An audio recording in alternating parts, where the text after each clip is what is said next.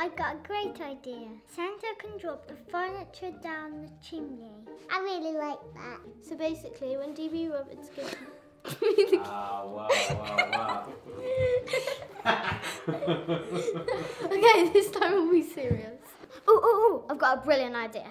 Maybe we could um, get like a snowinator and then get snow all over the guys and as they're pulling up. I already said that. So Santa,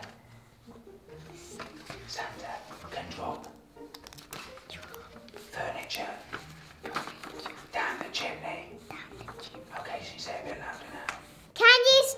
stop kicking me, please?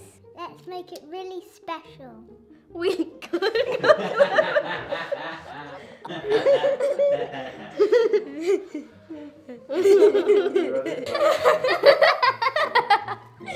we could cook them a turkey for when they move in. Good idea.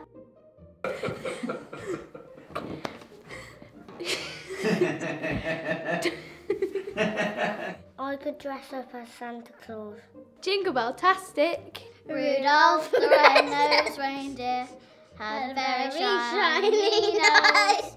And if you ever saw it, I just trumped. An embarrassed mum. We could wrap all the moving boxes in Christmas wrapping paper. I don't like you.